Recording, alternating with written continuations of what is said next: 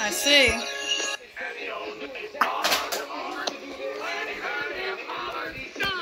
That means he's glad. You finished that bowl of food, Vixen?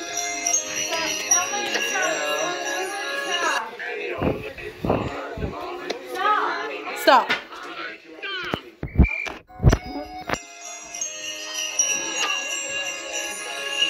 Hey, you gotta stop pushing me over.